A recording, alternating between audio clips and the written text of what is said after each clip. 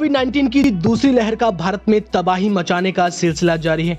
हर दिन लाखों लोगों का इसकी चपेट में आना किसी भारी संकट से कम नहीं। यूँ तो कोरोना वैक्सीन से इसको रोकने का अभियान चल रहा है, लेकिन बावजूद इसके, कोरोना ने लोगों को ज़िंदगी और मौत के बीच खड़ा कर दिया। अस्पतालों में ऑक्सीजन और बेड्स की कमी ने इस संकट को बढ़ने में अहम भूमिका निभाई। अब इस संकट को दूर करने के लिए केंद्र सरकार से लेकर राज्य सरकारें हर संभव प्रयास कर रही हैं। घरेलू ही नहीं, बल्कि विदेशों से भी मदद ली जा रही है। कई देश आगे बढ़कर भारत की मदद कर रहे हैं। आपको बता दें कि भारत को मदद देने के लिए सिर्फ़ विदेशी सरकारें ही सामने नहीं आई, बल्कि निजी तौर पर भी भारत को मदद देने वालों में होड़ मची हुई है।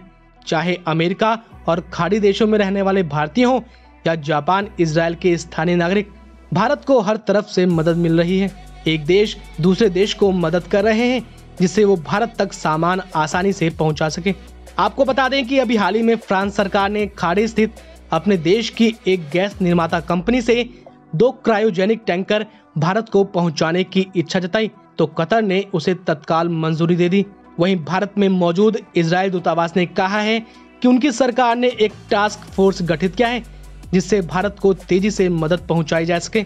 सोमवार को इसराइल की मदद का तीसरा जहाज़ भारत पहुँचा है जिसमें 60 टन चिकित्सा सामग्री, तीन ऑक्सीजन जनरेटर्स 1710 ऑक्सीजन कंसंट्रेटर्स और 420 वेंटिलेटर्स हैं। सोमवार को ही Britain, Spain, Japan, Kuwait, Qatar, Singapore, मिस्र और फ्रांस से बड़े पैमाने पर मदद पहुँची है। इस नई खेप में ऑक्सीजन के बड़े प्लांट, ऑक्सीजन ढुलाई में इस्तेमाल होने वाले क्रायोजेनिक टैंकर्स और जान बचाने वाली रेमडेसिविर दवा है।